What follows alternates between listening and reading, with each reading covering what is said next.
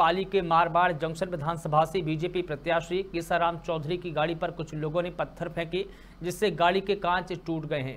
खबर है कि उनके साथ धक्का मुक्की भी हुई है, हालाँकि अभी तक विधायक की ओर से रिपोर्ट दर्ज नहीं करवाई गई है।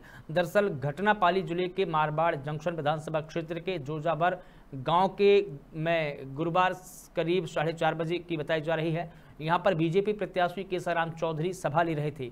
इसी दौरान दूसरी पार्टी के कार्यकर्ताओं की बीजेपी कार्यकर्ताओं से झड़प हो गई। ऐसे में सभा को जल्द ही खत्म करना पड़ा।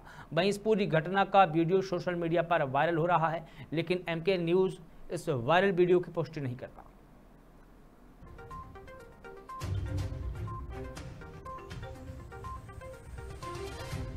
गोजावर में हमने सभा की थी। सभा में आकर के कुछ शरारती तत्व विधायक के द्वारा खुशवीर सिंह के द्वारा भेजे गए और उन्होंने सभा को डिस्टर्ब करने की की, फिर वहाँ से भाग गए। और भागने के बाद में, मैं सभा को विसर्जन करके गाँव की तरफ़ आ रहा था। तो रास्ते में धनला जाने वाले मोड़ पर उन्होंने मेरी गाड़ी पे अटैक किया। मेरे चोटें भी आई और अपामुखी भी की तथा मेरी गाड़ी के शीशे भी तोड़ दिए। मैं जनता से अपील करता हूँ आप सभी लोग शांति बनाए रखें।